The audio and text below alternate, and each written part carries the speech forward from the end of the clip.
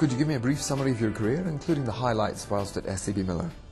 Well, I joined the company in 1990 in the Human Resources Department of the South African subsidiary of the uh, organization. Uh, then a couple of years later, I moved into production. I was general manager of uh, one of the breweries in South Africa, and I guess if you talk about highlights, that to me was one of the highlights. I mean, a fantastic job running a brewery, getting to know the, uh, the product in, in, intimate detail. From there, I moved to operations, looked after sales, distribution, and uh, further production. Then I had a short stint in marketing, and then after that, I left the beer division to the soft drink division, where I looked after our Coke bottle in South Africa, and I was chairman of Appletiser and then four and a half years ago I moved to Europe to look after this division. Turning to Europe, what are the dynamics of the European beer market?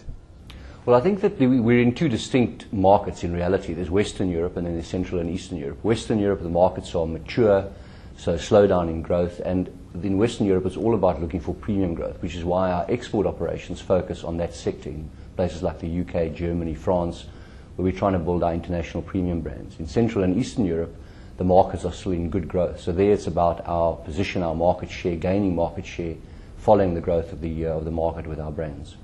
You talked briefly there about SAB Miller's position in the European beer market. Could you expand on that for me?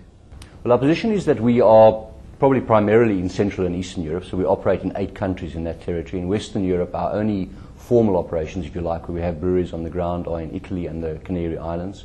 So for the rest of Western Europe, it is about export markets. So that's how our markets are divided up, and therefore, obviously, the majority of our growth, our profit growth, comes from Central and Eastern Europe. And if I think about our operations, what really drives our profits, I guess, is that we quite early moved to achieve efficiency in our operations. So we have very efficient operations, low cost operations. And then we've done a great job, I think, over the, uh, the 10 or 15 years in building our brands, mainly in the mainstream sector and in the local premium sector, because beer in Europe is still fundamentally a local business, and consumers want those local brands, which we've managed to build very successfully. So, what are the challenges facing the European business, and what are the strategic priorities, do you think? I think what we're likely to see over the coming years is that the Central and Eastern European markets, which is really where we operate, will begin to mirror what's happening in Western Europe. So, the issue for us is to try and attain market leadership before that really happens and establish our position uh, in, those, uh, in those areas underpinning that then, of course, is our brand portfolio, because at the end of the day, that's what makes the difference, is what consumers think about your brands. So we want to achieve market leadership with the right brand portfolio that we're offering to consumers.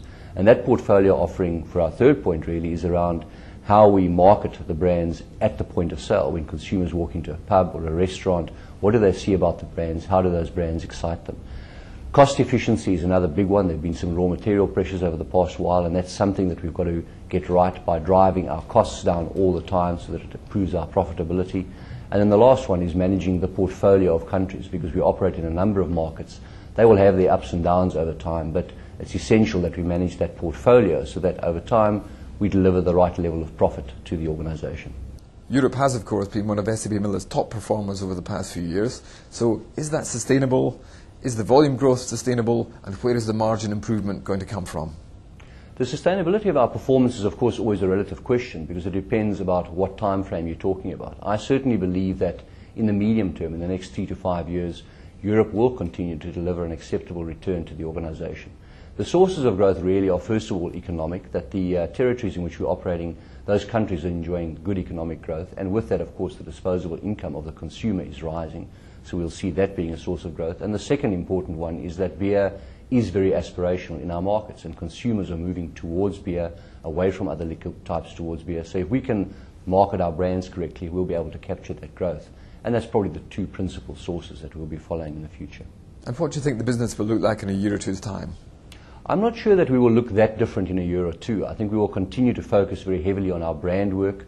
I think we will continue to focus on premiumizing our portfolio and continue driving cost efficiency for the organization. And those three things are today part of our strategy, but I think they will also be part of the strategy in the future, with perhaps the one slight difference being a much greater focus on premium brands over time.